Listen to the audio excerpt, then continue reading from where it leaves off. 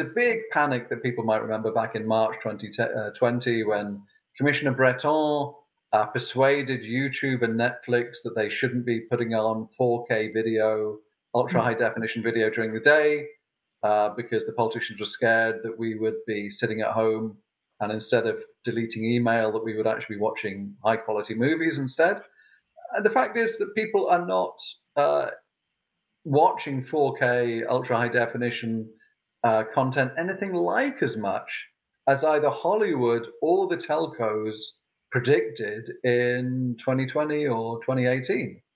Um, and I've, I've seen the latest statistics uh, from the uh, producers showing that the total amount of traffic, which is 4K, which is ultra high def, is something like under 10% of total traffic, which means that's actually less than 2% of viewing. Um, it turns out that we like watching Borgen, we like watching everything else in in high definition, and that's good enough for most people.